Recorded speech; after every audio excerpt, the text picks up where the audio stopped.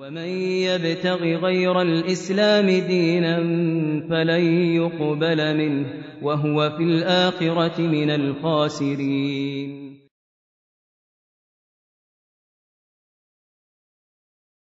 بالنسبة لقراءة القرآن لا يشترط فيها على المر... لا يشترط على المرأة أن تلبس الحجاب لأنه ليس من شروط قراءة القرآن أن تلبس المرأة الحجاب. فلذلك يجوز للمرأة أن تقرأ القرآن على أي حال. أهم شيء أن لا تمس المصحف إلا وهي متطهرة.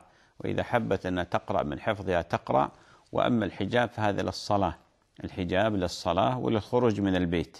أما قراءة القرآن أما ذكر الله عز وجل فهذا مما يسره الله وسهله للمرأة للمسلمين عموما والمرأة خصوصا. قال الله جل وعلا ولقد يسرنا القرآن للذكر فهل من مدكر؟ وللأسف الشديد يعني كثير من النساء ابتعدن عن قراءة القرآن بسبب اعتقادها بأن إذا جاءت تقرأ لازم تلبس ولازم تغطي شعرها ولذلك ابتعدت عن القرآن لأن تجد مشقة. من الذي قال بأنه يلزم المرأة إذا أرادت أن تقرأ القرآن أن تغطي شعر رأسها؟